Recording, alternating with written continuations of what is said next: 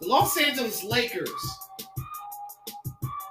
narrowed down their choices on who to trade for. They basically picked Rui Hachimura over Cam Reddish. Which I understand why.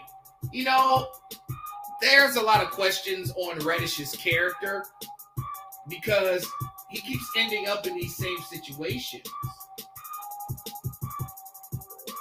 But me personally, I would have picked Cam Reddish over Rui Hachimura. I think Cam Reddish can score a lot better, but Rui has a bag of his own, though. Don't get me wrong. Rui, uh, in his first game as a Laker, he was pretty fucking solid. To me, he